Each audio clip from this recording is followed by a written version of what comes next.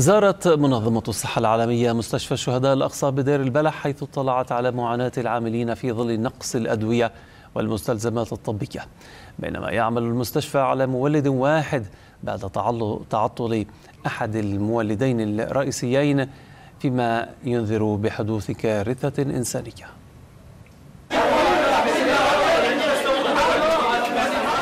تمام. امبارح إحنا قسم الاستقبال والطوارئ استقبل حوالي 420 حالة مرضية. ناتجه عن الاستهدافات المخيم في المناطق الوسطى كان معظم الحالات تعاني من بتر وإصابات في البطن وإصابات في الدماغ وحروق. هذه الحالات تحتاج إلى رعاية عالية. طبعا أجانا آه، كمية الحالات أجت خلال ساعة واحدة حوالي 420 حالة. تصنف منها 150 حالة إصابة خطيرة بالإضافة إلى حالات آه، متوسطة وحالات طفيفة.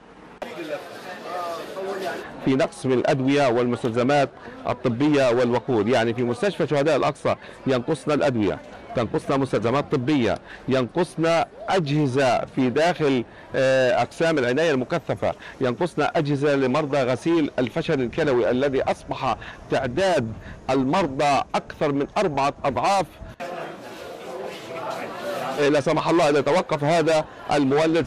سيفارق الحياة وخاصة المرضى والمصابين الموجودين في العناية المكثفة وكذلك الموجودين في داخل الحضانة وفي غرف العمليات وكذلك المرضى غسيل المرضى الفشل الكلوي.